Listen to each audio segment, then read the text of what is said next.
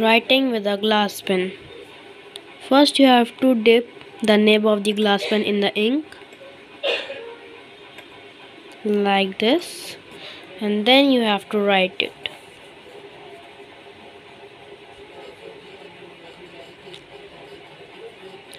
It is very very smooth.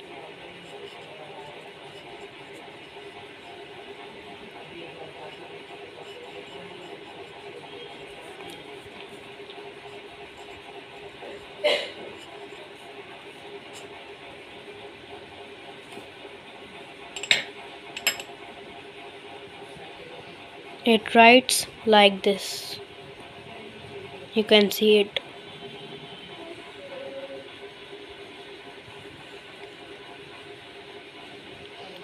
Please subscribe.